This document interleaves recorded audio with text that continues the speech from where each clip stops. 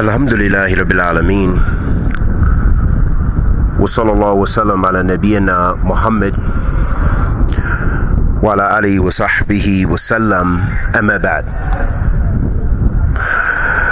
بكى سفيان الثوري رحمه الله تعالى ليلة إلى الصباح فلما أصبح قيل له كل هذا خوف من الذنوب فأخذ تبنة من الأرض وقال ذنوب أهون من هذا وإنما أبكي من خوف الخاتمة Sufyan al-Thawri rahimahullah ta'ala was crying from the night until the morning. And when the, it reached the morning, it was said to him, Is that from your fear of sins? And then he grabbed a handful of dirt and he said,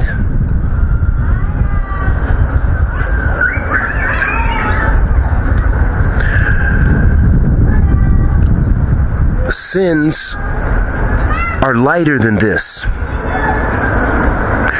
He said, Verily, I cry because I'm fear of how I will end. قال ابن قيم رحمه الله تعالى in response to this or related to this narration he said وهذا أعظم وهذا من أعظم الفقه أن يخاف الرجل أن تخذله ذنوبه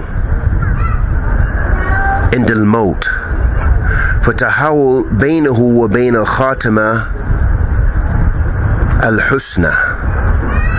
Ibn al-Qayyim الله تعالى said in relation to that athar of Sufyan al-Thawri he said and that is from the greatest of understanding or the greatest fiqh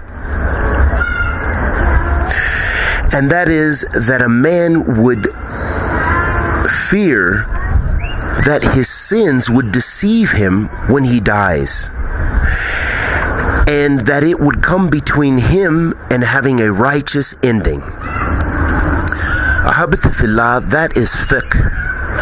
That is great understanding of the religion and understanding that our sins can overcome us. Never believe that you are just saved as some of the people of false identity, believing that they're believers and believing with arrogance that they are saved from the fire.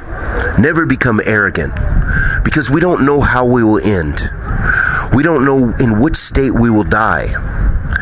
And this is in a conjunction or in relation to the hadith of the Prophet sallallahu alaihi wasallam who said, وَإِنَّ أَحَدَكُمْ ليعمل بعمل أهل الجنة حتى ما يكون بينه وبينها إلى ذراع فيسبق عليه الكتاب فيعمل بعمل أهل النار فيدخلها the Prophet ﷺ said, Verily, one of you will do the deeds of the paradise, do the deeds of paradise, deeds that will get you into paradise, righteous deeds, until what is between him and it, meaning him and paradise, is an arm span length.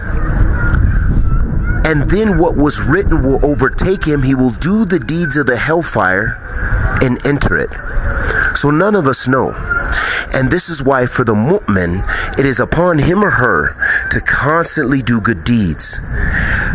And do deeds even after you've done a sin. When you are in sin that you know you're doing, you know you're doing something wrong, then try to do some charity.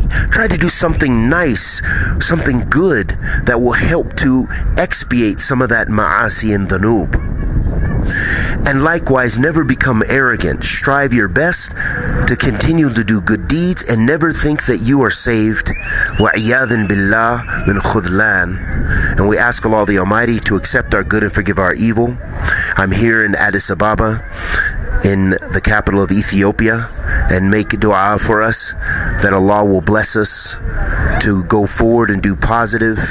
Bless us with ilm nafi, rizqan tayyib wa amal mutaqabbilan. Wa sallallahu wa sallam ala nabiyyina Muhammad wa ala alihi wa sahbihi wa sallam.